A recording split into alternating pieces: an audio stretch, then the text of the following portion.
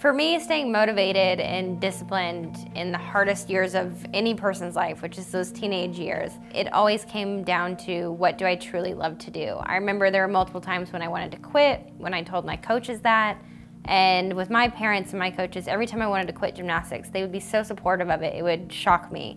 And it was kind of this reverse psychology. I'd be like, wait, you're okay with me quitting? And it would put the role back on me to say, is this actually what I want to do?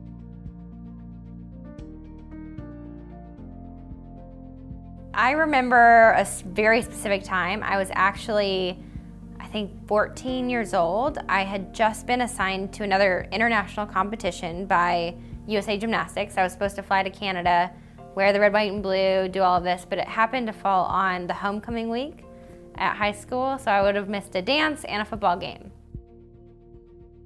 And I remember it was the day before I was supposed to leave for Canada.